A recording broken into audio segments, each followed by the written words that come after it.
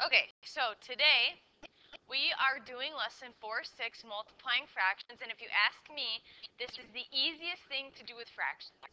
There's no changing denominators, there's no worrying about the numerators, your fractions can stay as is. That is the really, really nice part about multiplying fractions. You don't have to worry about any of that, okay? So, my first um, slide I'm just going to explain to you how this works and how uh, how multiplying fractions works. Because if I asked you how to multiply fractions, do you remember from last year? What do you do? Kaylee? Yeah, you just multiply across. Now, I'm going to show you why that works. You ready? Okay, have you ever seen this before? You have? Anybody else?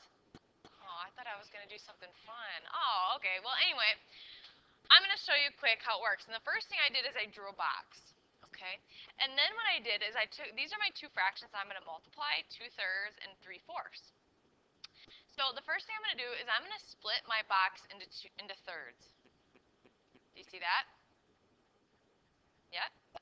And then I'm going to color in 2 thirds of that box. There it is. Okay, do you remember this? Have you seen it before?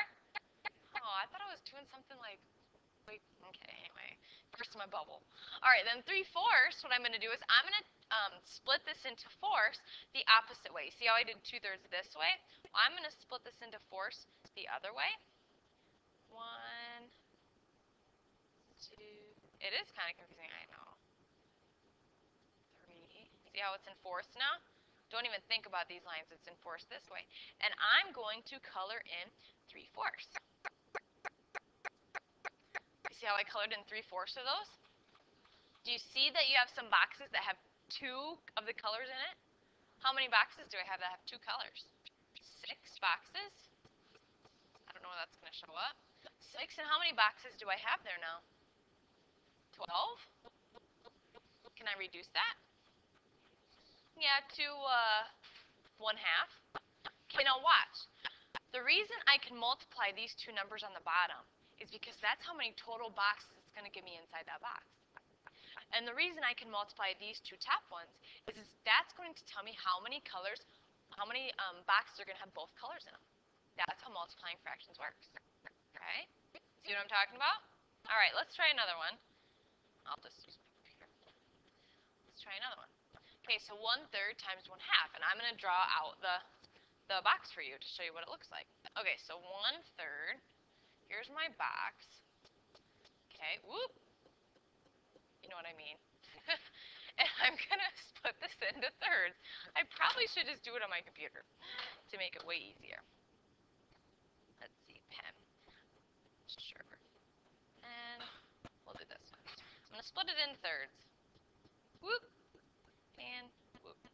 So how many thirds do I have to color in? Just the one, because that's what tells me one third. Woo. There it goes. Okay, so now we're done with that one. And what do I have to split the box into now? A half. I'll use green this time. So we did this way, now we're going to do the other way. So we're going to split it like this. And how much am I going to color in? One side. Ooh. Okay, so how many total boxes do I have up there now? Six. That's like taking 3 times 2. And how many just have both colors in it? 1. 1, 6 is my answer. I just multiplied them only by using a picture. Mm -hmm. But I'm showing you why that works right now. Why does that work? Because look, if I take 3 times 2, that gives me how many boxes there are. 1, 2, 3, 4, 5, 6, and I take 1 times 1, that's going to tell me how many boxes have both colors in it. Cool, huh? All right, so let's keep going. Whoa, can you guys see that? So let's go back, before we do any of these, let's go back to what you remember about positive and negatives. What are the rules for multiplying with positives and negatives, Cadence?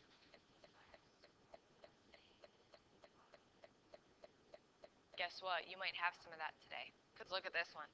I have negative 1 fifth times 7 tenths. What's my answer going to be, positive or negative? Negative, and then you can go ahead and do your multiplication across. Can you reduce before you multiply? Do you guys remember how to do that? Cadence? Yep. But I don't think any of those really work, do they? I can't I can't reduce any of those. I can't.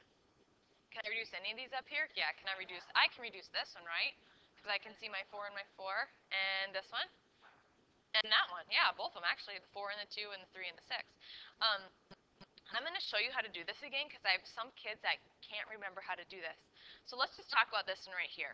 Okay? Can I reduce before I multiply? Sure. What can I reduce here? What? I can reduce the 2 and the 4. Oh my goodness. Ooh. You guys know what I mean. 2 and the 4, right? So what can I reduce by? I can reduce by 2. So this is the part that a lot of people don't understand or they get confused about. I'm going to reduce by 2. So how many times does 2 go into 4? I'm going to cross it out and I'm going to write a 2. How many times does 2 go into 2? 1.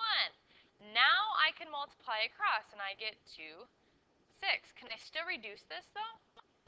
Why? I couldn't before when I cross multiplied. How can I how come I can reduce it again now? Look at 2, 6. Could have that been reduced beforehand? Yeah. So if you can reduce again, that's okay. It just might be that one of them could, be, could have been reduced beforehand. So this would be 1 third. Is it positive or negative? Positive, you're right, because there's not no negatives in there. All right, let's, why don't you do this one by yourself on your paper? This one right here. Do that one by yourself on your paper.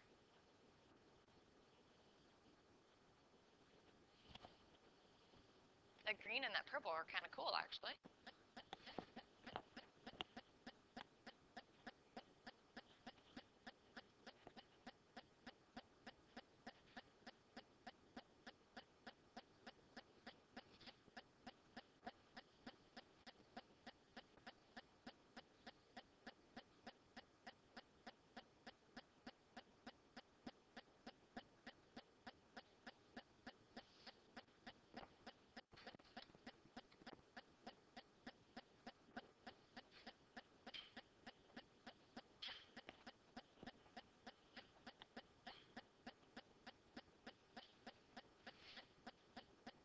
Got an answer? You got a question? Sure.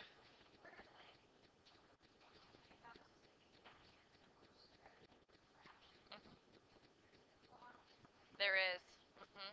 For the scientific calculators, there are a fraction. There is a fraction key. For the regular ones that you just like the the little cheap ones, you know what I'm talking about? That just have like the basics on it. That does not. And I can show you that later, Cadence, if you want. want me to show you. Everybody's calculator is different. Not everybody's what would happen if I didn't reduce before I did my problem? A really big number, but then could I reduce after? And should I come up with the same answer? Yeah. Here's the thing. Always look to reduce beforehand because it's honestly it's going to make your life a lot easier because sometimes people get this big number and they say, "Well, I don't know what I can reduce by. That must be the answer." Circle it, move on. And they probably could reduce it. So always look right away to see if you can reduce it because a lot of times people forget afterwards or, yeah, just don't do it at all. So what did you get for an answer here? What did you get for an answer, Jasmine?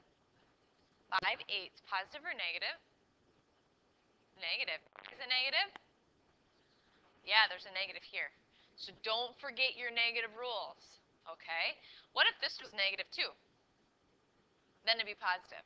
Then it would be positive questions for me so far? Is this kind of ringing a bell for you guys? Like, it's come back to you a little bit? To me, this is the easiest thing to do with fractions. The easiest. Okay, so we kind of talked about this already. Reducing, that's okay, we're going to skip. But we're going to go to this, multiplying mixed fractions. Um, for multiplying mixed fractions, you have to make an improper fraction. You have to. That's the only way it's going to work. Okay? I can't tell you how many times I have kids see this and say, well, I'm going to multiply these two together, I'm going to multiply these two together, and I'm going to multiply these two together, and that's going to give me my answer. That doesn't work, you guys. You have to multiply the whole thing together, okay? So make it an improper fraction. So that one's going to be 13 over 4, that's a negative, times uh, negative 5 over 2. Okay? So you have to make an improper fraction. Then you can multiply across just like you've been doing. Watch your signs. And if you need to make it back into a mixed number, do that, please. So please make it back into a mixed number if you can. So let's see, I'm going to have 15, is this going to be 65? Is that right? 65 over 8, that's a negative though, right? No, it's going to be a positive. You're right, very good, because they're both negative. Remember how to make this back into a mixed number? Anybody care to share? You can divide, yep, Jacob. The house, yes. 65 divided by 8, it's actually going to be 8, 64, 8 and 1 eighth. Should be your answer. Does anybody have questions on this? You have to change it to an improper fraction. That is the most important thing. And then be careful with your negative signs. Let's do a few together here. Anybody need this yet? Good? Okay, why don't you do a few of these by yourself for me? Do a few of these by yourself, uh, and we'll see how well you do.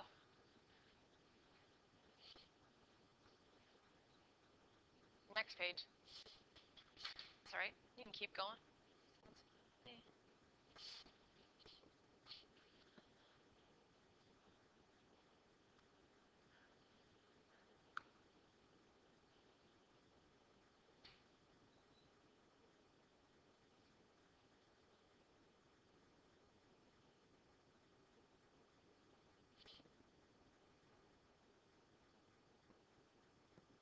Some of those are going to be really big, and that's okay. Some of them are going to be pretty big. That's all right. I probably was kind of mean on that first one. I didn't try to be, I promise. I really didn't try to be mean. you guys want another light on back here? It's too dark.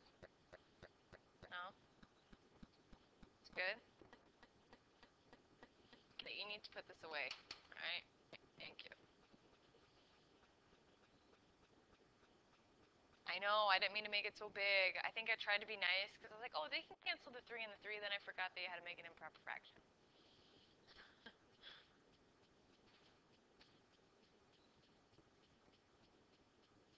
the second one's a little nicer.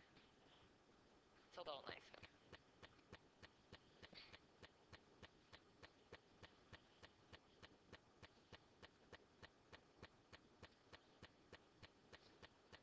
Sorry, you guys. I didn't mean to make it so big.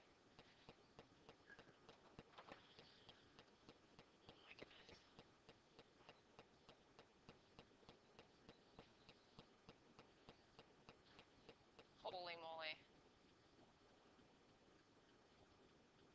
You probably could reduce this. Can you reduce this? You should be able to reduce that, I think. Goes in once. Yeah, 16, I think.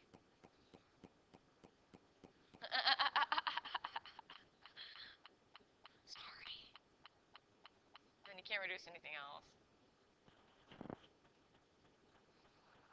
Ah! Don't be mad. I didn't mean to, I didn't mean to.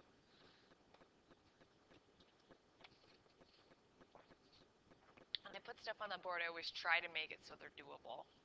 I always do. Evidently, I did this time.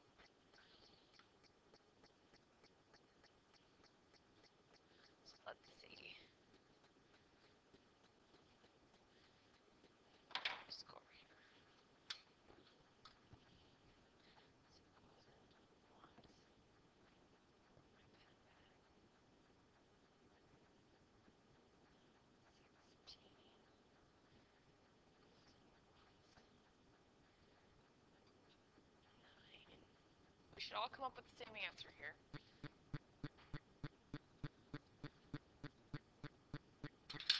Moly.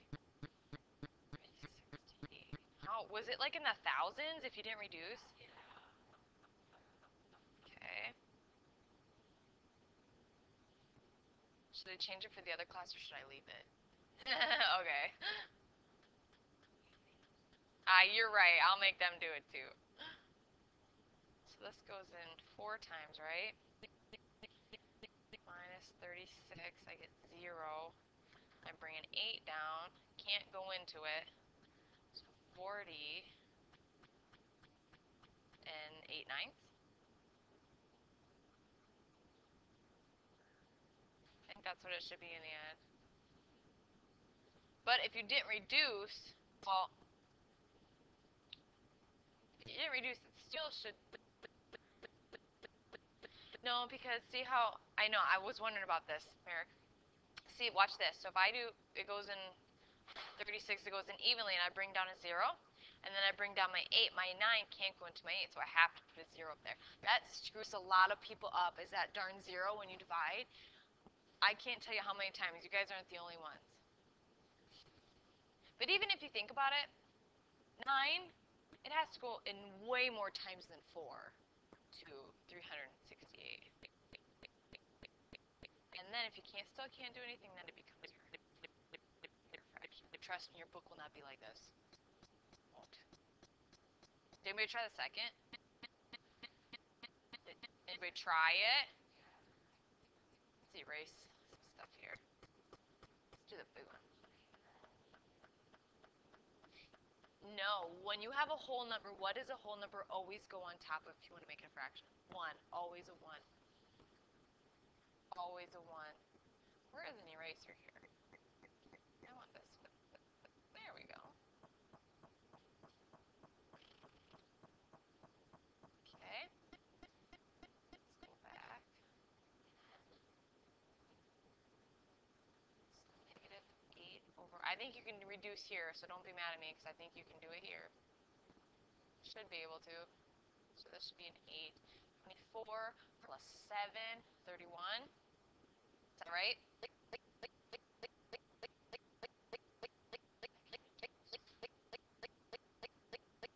Oh, that's an easy one. See, I redeemed myself, you guys.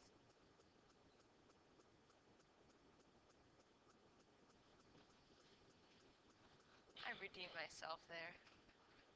What? It is. But it's, if it's always on top of 1, then you can just say 31. It's like a whole number. Mm-hmm. Yep. You can just call it 31. Correct? You're right. I- Trust me, your book's not going to be this hard. Sorry. I always try to make it so it's somewhat easy, but I guess I failed on this one today. Okay. Uh, do you guys have any questions for me? Do I have any more? I have one more slide. Yeah, Zane. Yep, I'll take care of it. I'll get it taken care of. Let's look at your uh, books a second, okay? Let's look at